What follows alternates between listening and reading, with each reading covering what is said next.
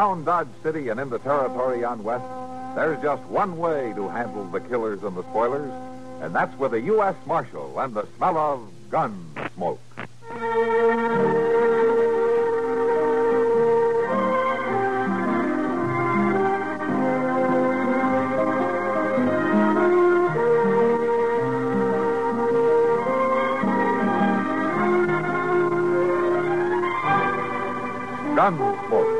Starring William Conrad. The story of the violence that moved west with young America. And the story of a man who moved with it. I'm that man. Matt Dillon, United States Marshal. The first man they look for and the last they want to meet. It's a chancy job, and it makes a man watchful and a little lonely.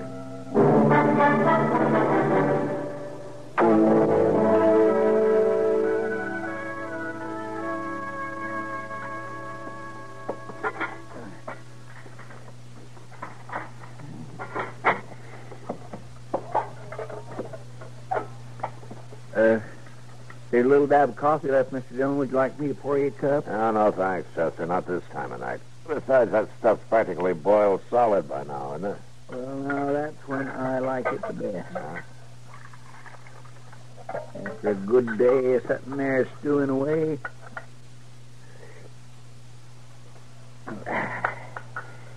Gives a man a lot of vinegar.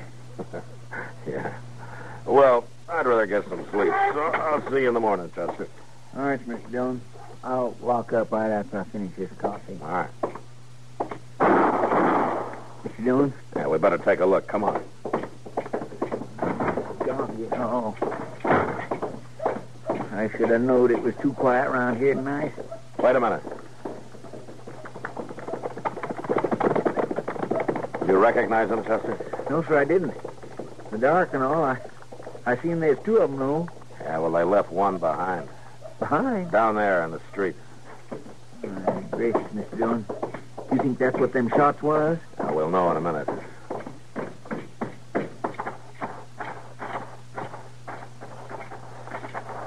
Now, let's turn him over. Yes, sir. He's breathing. Ah, straight alcohol. Sure does smell like bad whiskey. You hurt? I don't think so, Chester. He hasn't been shot anyway. You think he was with them other two that rode out of town? I don't know. Maybe we better put him away for tonight so we can ask him in the morning. All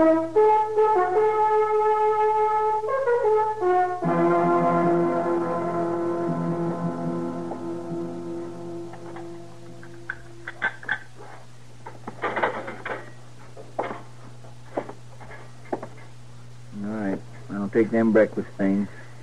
Go ahead. You didn't do much eating. Ain't fit for feeding hogs. All right, now you just hold on there. I cooked that up myself. I wouldn't brag on it none. Well, sleeping it off sure ain't helped your disposition none, I'll say that for you. Why, I've been cooking up the food around here ever since Just before you... get it out of here. Well.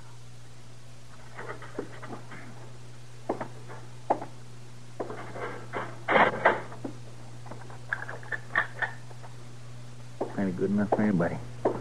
That's what he says. Full empty, good enough for anybody. That's what it is. That's the trouble, Chester. Oh, well, it ain't exactly trouble, Mr. Dillon, but that prisoner says my food ain't good enough for him, nor for hogs. He probably doesn't feel very good, Chester, not after all that whiskey he drank last night. Anyway, you can't suit everybody, especially with that food. Well, now, my cooking ain't all that bad. Uh, I'll just set these things out front, Mr. Dillon. If it's all right with you, I'll be back and wash 'em up in a little bit. Oh, where you going? Well, I thought I might go get me some breakfast over to Delmonico's. To tell you the truth, that stuff I cooked this morning ain't fit for hogs. I'm looking for the marshal. You found him. He's Marshal Dillon. Come on in, mister. What can I do for you? You got my boy locked up here? Oh, who are you? Name is Josiah Crandall. Yeah, he's locked up. Crandall don't belong in jail. Well, we're not particular around here, Mr. Crandall. How's that? We don't care what a man's name is. What'd he do? We found him lying on the street last night. We dragged him here. You hurt? No? You catch him in the act of violence? No, he was too far gone for that. Then you ain't got no case against him. Look, Mr. Crandall, I know the law. I also know that any time a man is lying dead drunk in the streets of Dodge, I got a right to lock him up, whatever his name is. I ain't come here to argue your rights, Marshal. Then suppose you told me what you did come for. To find out what he done. To fetch him home when you're through with him. To keep him away from this place. It's full of trouble and violence. He's a grown man, Mr. Crandall. Might be hard to do. I'll do it. No? You sound mighty sure. Listen to me, Marshal. I spent the last years of my life making sure. His two brothers dead to violence. One in the war, one in the barroom. Oh. I packed up and brung this boy west when he was little. I wanted him to grow up peaceful. I ain't aiming to let him get away again. I'll keep him out of town, Marshal. Don't you worry none about that. You figure to hold a pretty tight rein on him, then, huh? If I do, that's my affair. Yeah, I guess it is. All right, I'll let him out, Mr. Crandall. Your son hasn't done anything to make me keep him here any longer. He won't be coming back. Well, I'll be here, Mr. Crandall, just in case he does.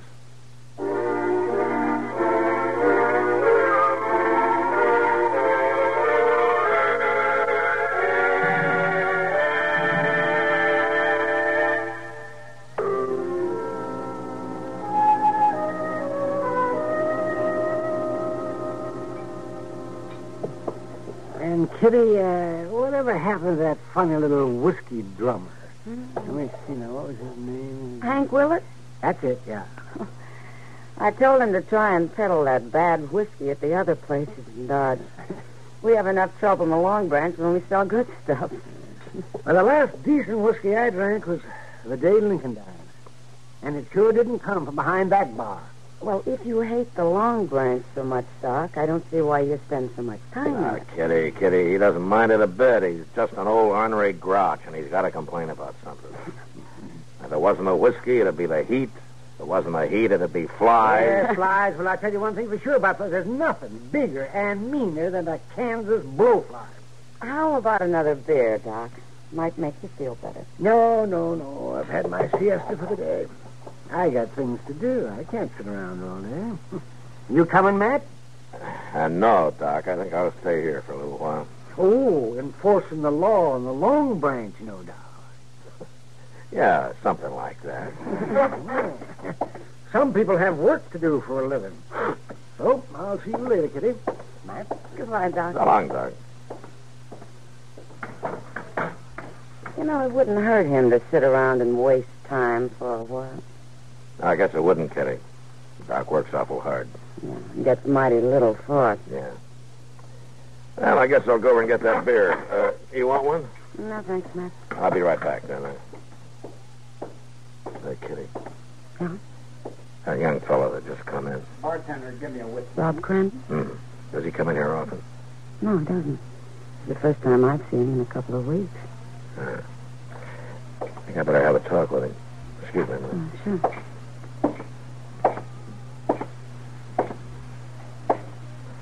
Hello, Rob. I ain't breaking no law, Marshal. No, you're not. I'd just like to talk to you. What about? Does your father know you're here? What if he don't? Well, you may be in for trouble. Listen, Marshal. A man's got a right to find out about trouble for himself.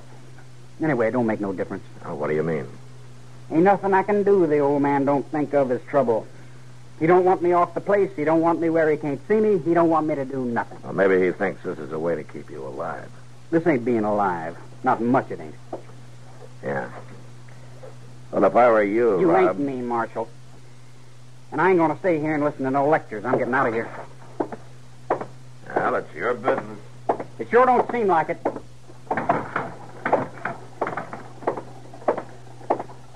Well, now, would you look at that, Joe? Here he comes, big as life. The boy who wanted to ride with us. Don't look like a night in jail hurt him none. You mind if we walk along with you, kid?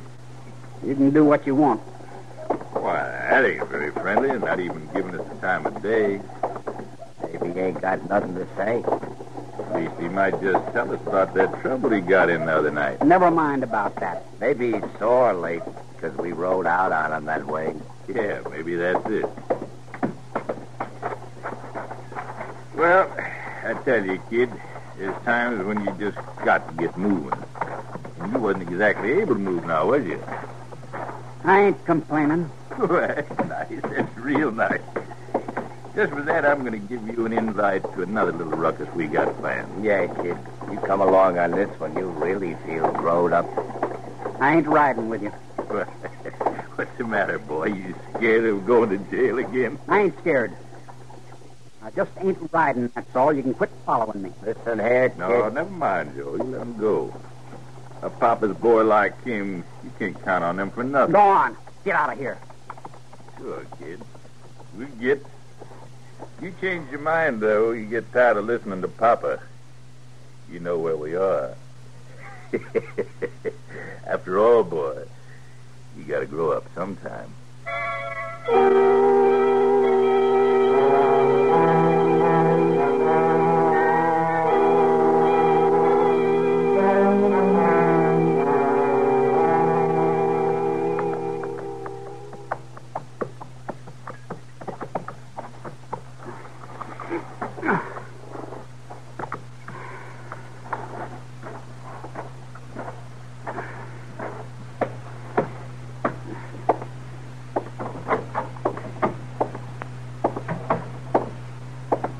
No need trying to walk light, boy. I hear you.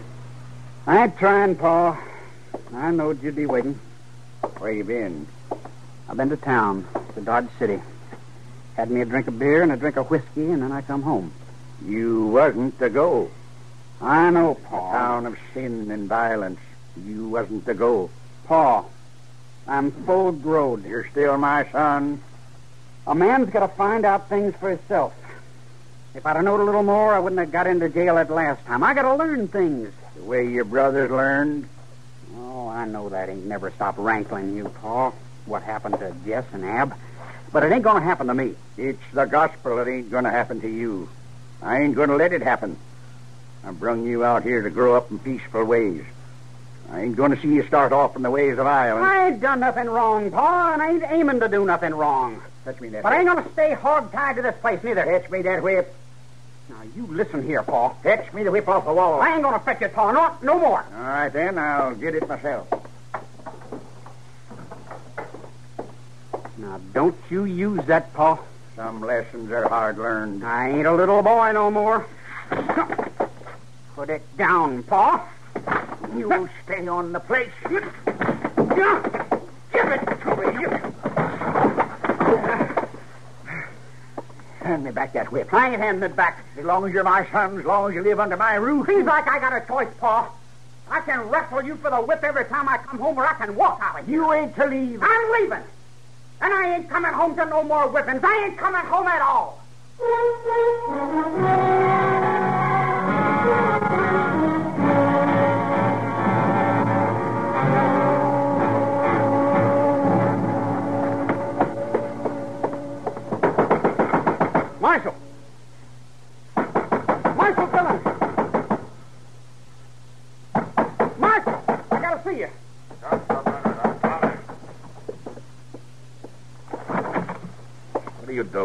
Time of night, Crandall? What's the trouble? I gotta see you.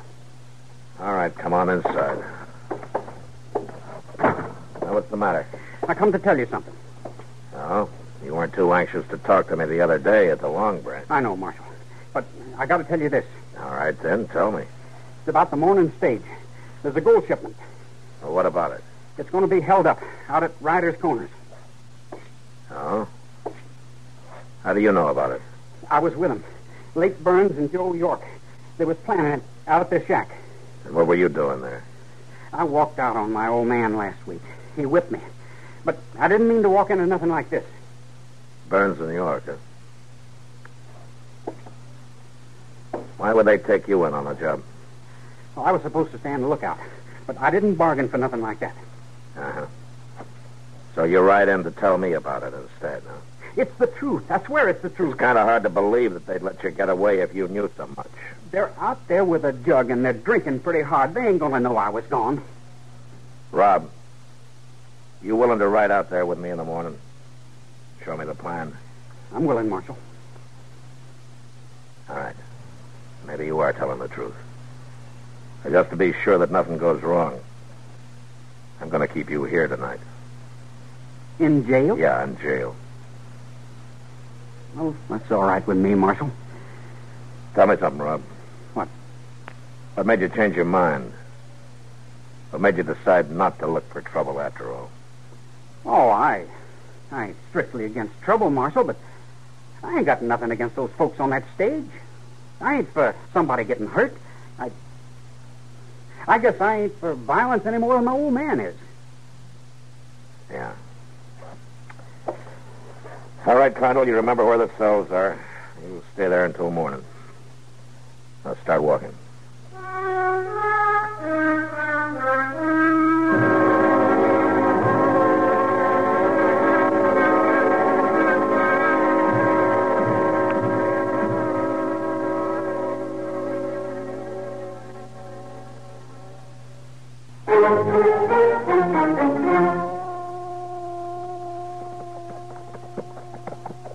Right up here, boy. It frets me having you lagging back there.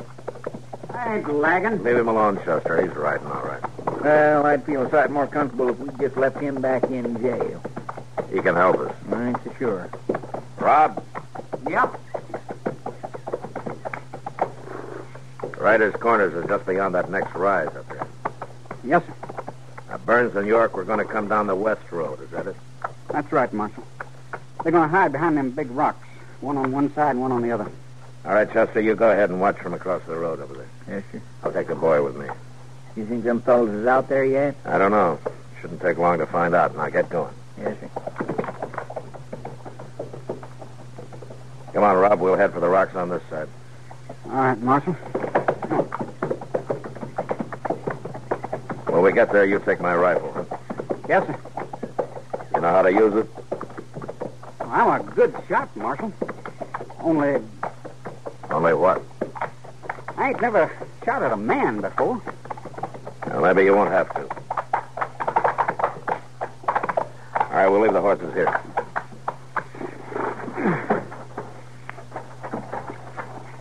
Here. Here's the rifle. I'm going up on that rock. You stay close behind me and stay low. Yes, sir. Here, up this side.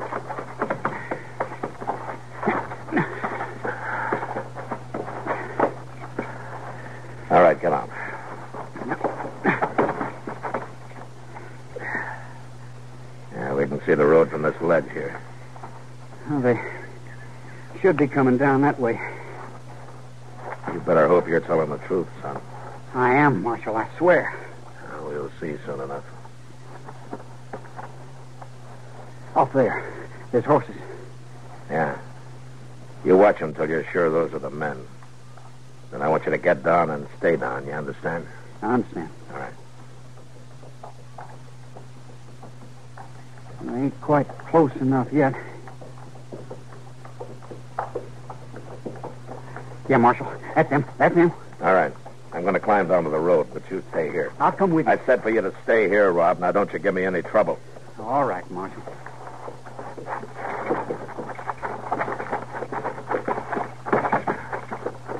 York! Burns, pull up. Stay right where you are. You're covered. Who are you? Dillon, get your hands up. That's it. Now you sit real still. Yes, sir. Yes, sir. Come on out and get their guns, but come easy. We've been sold out. The kid, the puppet boy done it. Told the marshal. There he is.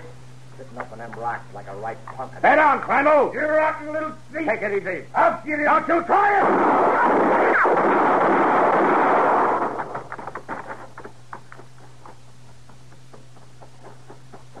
Mr. Dillon? You all right? Yeah, Chester, I'm all right. You got him. Both of them. Come on, Chester. Let's see about the boy.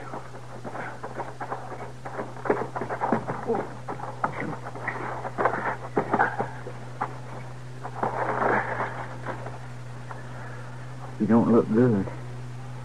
No, he, he's hurt bad. I'm sorry I didn't get to the guns in time. You couldn't help it, Chester. He didn't give you any time. All right, come on. We better get him into Doc.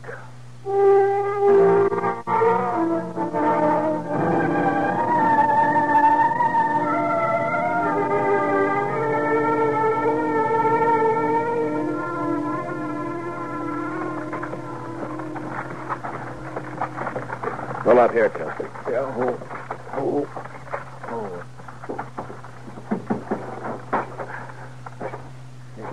Just a minute, Mr. Dillon. I'll help you. No, never mind, Chester. I'll take him.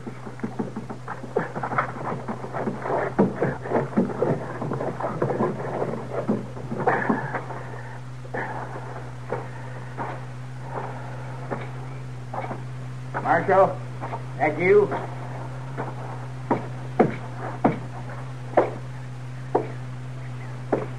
Marshal? I brought Rob home, Mr. Crandall. Drunk again? No, he isn't drunk. He hurt? Bad hurt? He's dead. Bring him in.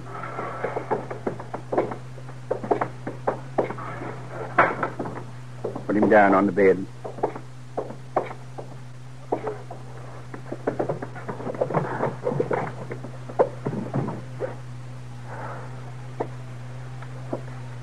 Doc did everything he could. He was shot? Yeah. No doctor can do anything about violence. I'd like to tell you how it happened. No use, Marshal. No use. My boy's dead. My third boy. Yeah, but you might feel better about it if you knew. I had three sons. They all sought violence. This one didn't. He tried to stop it. He died by it. Yes, Mr. Crandall, he did. But he died because he was trying to keep people from getting hurt. He died trying to stop a stage holdup.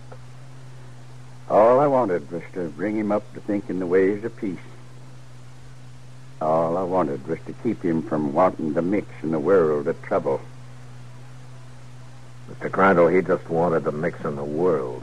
The world is wicked and full of violence. Not all the world, Mr. Crandall. If I had a son who risked his life to save others, I'd find it in my heart to be proud. Even if he was my last son.